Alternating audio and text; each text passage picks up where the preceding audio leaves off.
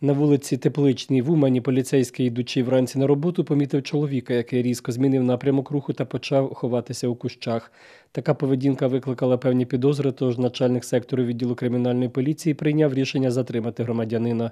З'ясувалося, що 41-річний уманчанин вже потрапляв у поле зору правоохоронців і підозрюється у скоєнні майнових злочинів.